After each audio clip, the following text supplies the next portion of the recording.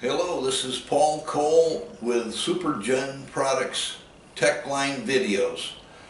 Today we're going to be doing the Champion 2800 inverter, which is also the same in, in the, uh, as the 3400 all the way up to the 3400.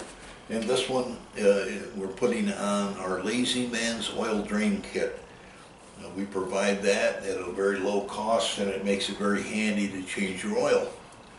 So um, we're going to do an installation for that and that way you can relate to what you need to do when it's time. Uh, Without having to take your existing oil out, we recommend you prop it up here so the oil goes to the other side of the generator. Okay, and by doing that, we don't have to worry about spilling any oil. Now, this particular Lazy Man's oil drain, as you'll see here, has a 10 millimeter thread and a 12 millimeter socket bolt head on the uh, fitting. On the other end, it's got a blind plug. The thread is not used on this model. It's used on one of the other ones are clamp uh, that we use on the tubular frame. But by re- relaxing the spring clamp, you can pull this plug out and it's a solid plug, or we'll call it a blind plug, that prevents the oil from flowing out when you're not or when you're using the generator. So anyway, right now what we're going to do is we're going to remove the, the drain bolt. That happens to be a 12 millimeter socket to do that. So we go in right at the top, the drain bolt is right along the edge of the crankcase. Break it loose, spin out the drain bolt. You won't have to use the drain bolt again because you're replacing it with a different fitting. So then we put our fitting up in there and just rotate the hose right in place. You a little bit of doing to get it started, once it starts, it'll thread right in the hole.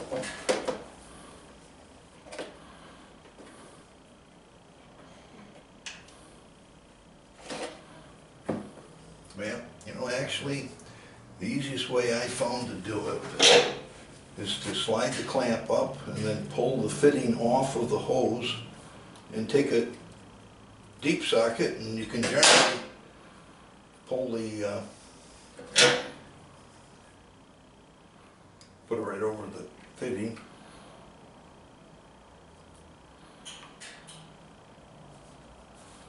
Those things hold in there pretty good. If you have a difficulty, you want to do it that way, take the hose and put it under the hot water faucet for a few seconds and soften up the hose. The fitting will slide right out. Then you can uh, thread it right in with a deep socket. I'm going to continue doing it the conventional way, where it just threads in. There we go. Once you get to start threading, you can just kind of screw it right in place. And once it's all the way in there, simply uh, tighten it with a 12 millimeter open end wrench. A couple turns, you don't have to get crazy with it, but make sure it's seated. The O-ring will do the sealing. Should be no leaks once you put it in place.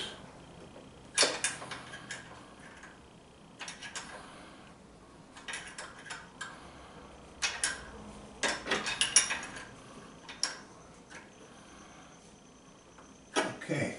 I'm gonna slide the clamp back down. As you can see, I can't even get the hose off once it's been assembled. And then slide the uh, spring clamp down over the barb fitting. There you go, done deal.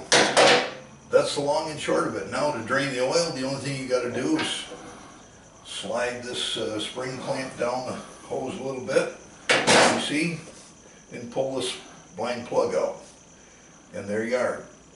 This little notch in the uh, chassis on the 3100s makes it handy just to set the hose there and drop it in your pan. And once we take this prop down, the oil will drain right out.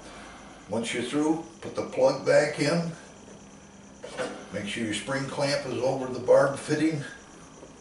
or over the end of the hose where it seals. And then just simply lay your hose right back up into the bottom of the chassis. No problem. That'll sit there nicely. You'll find your life a whole lot easier bringing that outside of the chassis five or six inches and draining it into a pan. No mess in the, in the uh, chassis pan. And that's one of the calls we get periodically is that people spill oil in the chassis pan and as it finds its way through the little uh, grooves and drain holes, they think they have an oil leak, which they don't. These engines are just about bulletproof when it comes to oil leaks. Rarely ever see an oil leak with one. So make sure you don't make a mess. And that's what the Lazy Man's oil drain helps you avoid.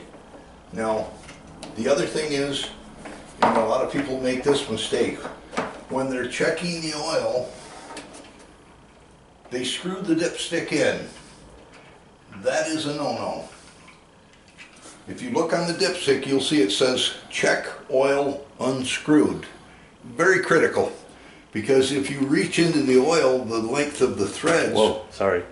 you end up you end up uh, having a borderline low oil level, and very soon it's going to shut the engine down because it's using enough oil to get to that point much quicker, especially during break-in. It's important to check your oil at least every eight hours during break-in. Okay, and then when you check it, just set it in, pull it out, and up to the top of the little X's, the oil should cover. If it doesn't, you need to add oil.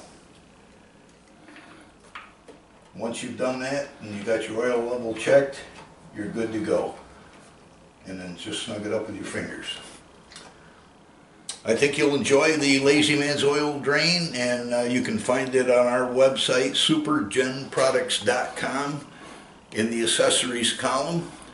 And uh, also uh, be sure to subscribe to our YouTube channel for new tech bulletins as they come out, tech videos. And our uh, subscription address is www.youtube.com backslash user backslash supergen products. Thank you very much. Okay.